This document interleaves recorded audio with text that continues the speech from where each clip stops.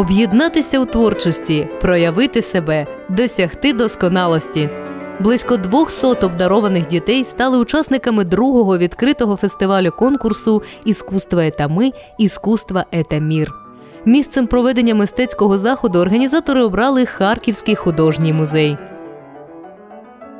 Мы старались сделать, чтобы он не узкий был, а дали сразу разные плановые направления. Там может быть академическое, и классическое, и народное, и э, джазовое, эстрадное, какое угодно направление. Тоже так же, как и направление инструментов. Они могут быть разного вида. Инструментно-смычковые, фортепиано, народные, э, могут э, быть объединения, смешанные ансамбли какие-то. То есть дали возможность для всякого рода творческого объединения или каких-то творческих начинаний, или каких-то успехов, чтобы они могли на фестивале это на нашем показать. Фестиваль народився як музичний, розповідають організатори, та цьогоріч доповнився новою номінацією Образотворче мистецтво. Розширилася і географія заходу. У другому фестивалі взяли участь діти не лише з Харкова, а й з міст та сіл області. До этого в прошлом году он был музыкальным, где были представлены номинации вокальная, инструментальная, а в этом году добавилась такая мощная номинация, как художники. Она украсила, она добавила свой такой вот ракурс, и плюс еще в стенах этого здания. Фестиваль получился таким элитарным, фестиваль получился таким красивым, э, что я думаю, что он привлечет на следующий год значительно большее количество участников. Переможців конкурсу обирало зіркове журі, відомі в Україні діячі культури та мистецтва. Метри підтримували юних учасників та охоче ділилися з ними знаннями та майстерністю.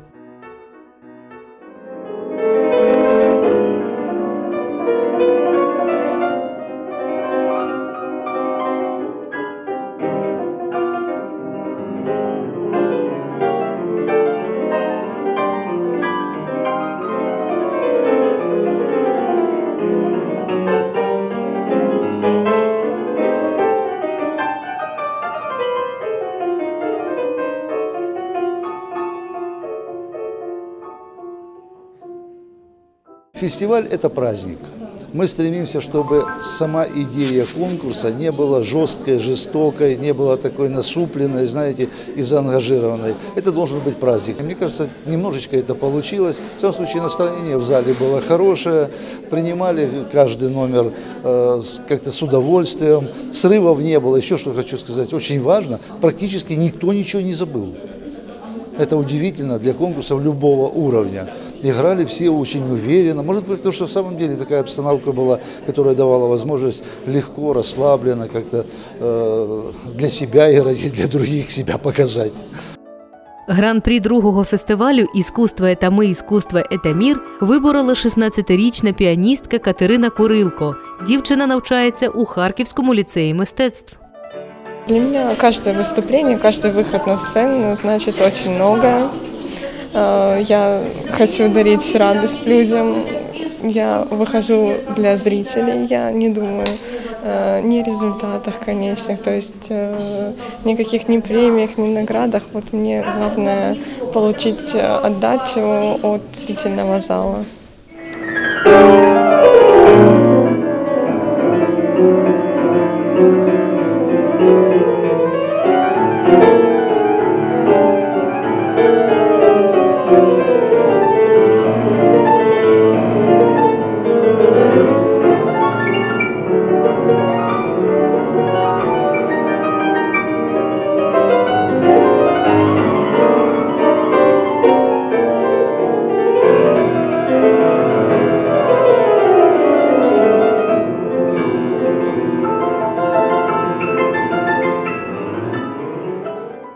Переможці фестивалю отримали дипломи лауреатів та сертифікати на участь у престижних мистецьких заходах Харкова. А організатори вже запрошують юних художників та музикантів на третій відкритий фестиваль-конкурс «Іскусство та ми, іскусство та мір, який відбудеться у травні наступного року.